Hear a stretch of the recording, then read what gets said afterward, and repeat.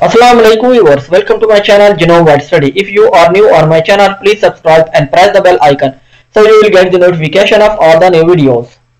This is the third method to find out the chromosome length that the organism contain how many chromosomes and each chromosome have how many length in term of base pairs and this in this method we will use the genome length filter method of TB tool to find out the chromosome length and number of chromosome.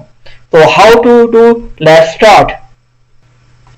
In this method we also need the genome file to find out the chromosome length. In the first method we also we use the genome file and in the third method we also use the genome file but the uh, tools that we use to find out the chromosome length is different. So open the TB tool, go to graphics and then comparative genomics. And then click or select genome length filter. Now drag that file to fast set input FASTA file box. And here simply click on get seq length.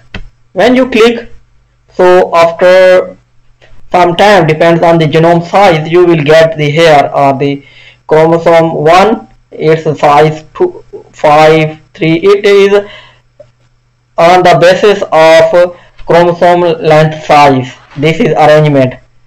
Chromosome 1 is the biggest then fifth then comes third one then two then fourth then mitochondrial and then chloroplast. So you simply copy it and then paste it in your destination file or for whatsoever here I see our info